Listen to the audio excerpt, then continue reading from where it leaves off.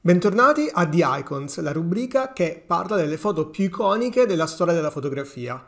Oggi vi parlo di un autore importantissimo che si chiama Saul Leiter.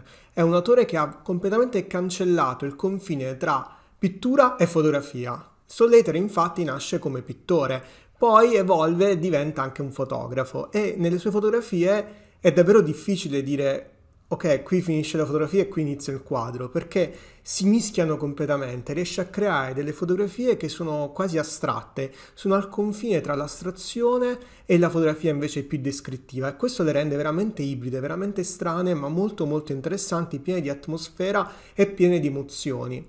Racconta la città, New York, dove si è trasferito a vivere, lui è nato in Pennsylvania, ma la racconta in una maniera diversa da tutti gli altri fotografi del tempo, quindi qualcosa di veramente originale. Poi è anche un fotografo di moda in realtà, quindi fa anche diversi servizi di moda, però è conosciuto soprattutto per queste sue fotografie di città di New York perché sono speciali, sono veramente diverse da tutte le altre fotografie di New York che avete mai visto.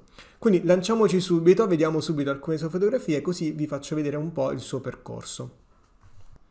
La prima fotografia fa parte del suo periodo iniziale, quello in bianco e nero, in cui scattava in bianco e nero, ma già qui vediamo comunque il fortissimo legame con la pittura, è una fotografia veramente particolare. Vediamo attraverso un vetro il mondo esterno, ha nevicato, c'è la neve a New York, e vediamo questa silhouette di, quest- di, quest'uomo avvicinarsi, ma al tempo stesso un uomo che si cancella, cioè non, non, finisce, sembra un corpo sospeso in aria. Vediamo bene soltanto il viso, proprio questo profilo bellissimo, molto preciso. Vediamo altre silhouette in lontananza che si avvicinano, però il corpo di questa figura in primo piano si disgrega, quasi scompare nel nulla.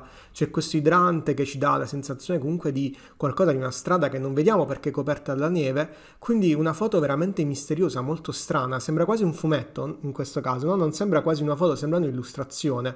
Per questo vi dicevo questo confine tra pittura e fotografia che si sfumano, si, si, si sfuma, si, si mischiano tra di loro queste due forme d'arte diverse. Quindi un'immagine veramente potente anche questa qui, veramente interessante questa di questo suo primo periodo in bianco e nero. La seconda immagine che volevo mostrarvi invece è un'immagine diversa poi dalle altre perché vediamo un ritratto, vediamo una, una persona, ma in realtà non la vediamo, la vediamo nascosta. La vediamo dietro questo vetro smerigliato con questo gioco di piante, di frutta e il viso viene completamente cambiato, si trasforma, diventa qualcos'altro, qualcosa di veramente molto misterioso. È bello proprio come lui mette la persona incastrata in questo disegno, quindi è veramente interessante anche il movimento del corpo abbinato a questo movimento invece di questa, di questa vetrata. Veramente una foto interessante anche questa. La terza foto fa parte di queste foto di strada di New York di cui vi parlavo a colori. Eccola qui, veramente incredibile questa foto mi è sempre piaciuta molto perché c'è un fortissimo elemento di astrazione che poi si ritrova in tantissime altre foto di Sollater, che è questa parte sfocata in primo piano con questo colore a tutto campo.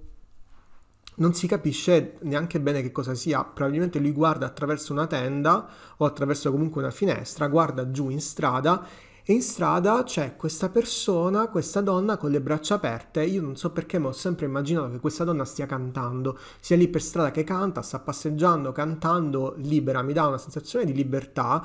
E invece lui chiuso qui in questo luogo più scuro che guarda fuori mi dà una sensazione invece di prigionia, come se guardi fuori volendo and- andare fuori, vedendo invece questa situazione più libera di, di, questa donna che invece cammina senza problemi per strada, quindi mi dà una sensazione proprio di una ricerca di, di libertà, di, di, voglia di scappare, di andare verso qualcosa di diverso.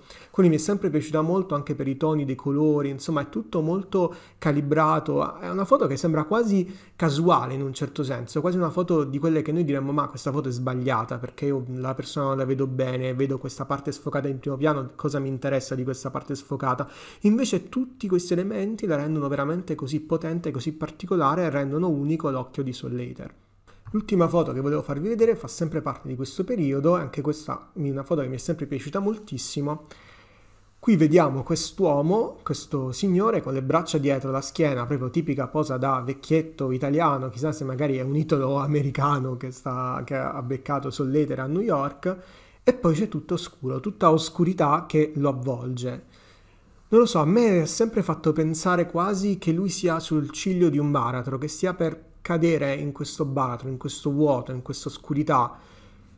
Vogliamo dire che è la morte, non lo so, il nulla, quindi l'annullarsi, andare verso qualcosa di completamente estraneo. Quindi mi ha sempre dato una sensazione di angoscia da un certo punto di vista, ma anche di serenità, perché comunque lui guarda con serenità questo vuoto, cioè lo, lo guarda, lo affronta con tranquillità, è come se è pronto ad andare via, a lasciarsi andare in questa oscurità, a perdersi in, questa, in questo nulla.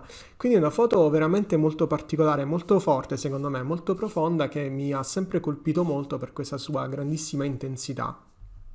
Ecco, come avete visto, quindi un autore molto particolare, quest'uso della sfocatura così strano di queste parti sfocate in primo piano con queste campiture di colore piene veramente fa pensare alla pittura più che alla fotografia. Però l'abbinamento di queste parti con queste invece immagini, invece queste parti più descrittive, invece lo rende molto moderno e infatti mi ricorda anche molti esperimenti di pittori che poi sono arrivati dopo, quindi secondo me lui è veramente un autore rivoluzionario che è riuscito a mischiare queste due forme d'arte in qualcosa di nuovo e poi ha ispirato moltissimi altri autori successivi.